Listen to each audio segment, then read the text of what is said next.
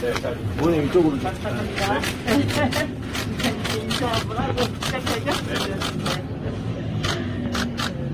제가 여기 서 있으면 되는 건가요? 네, 여기에서 가르쳐 주셔야지 이제.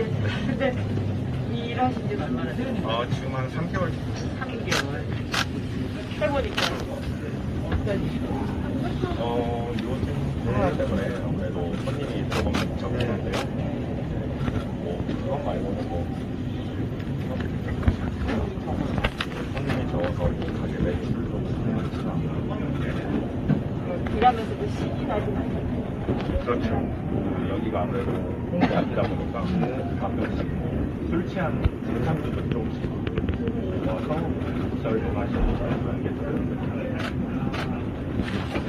그러면 지금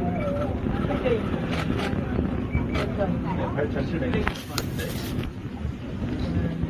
시간당 실력이 플러스 네, 야간 근무 수당이 1.5배를.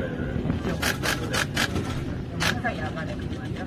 그렇죠. 밤 11시부터 아침 8시까지. 그러면은 잠은 어떻게? 제가 주소 찍어야 될것 같아요. 어, 이팔 찍어드릴게요. 낮 11시쯤에 장로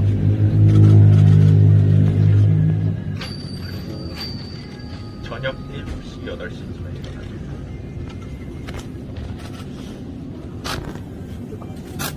네, 낮에 아무래도 생활 패턴이 정반대이다 보니까 힘들긴 한데, 그래도 해야겠다.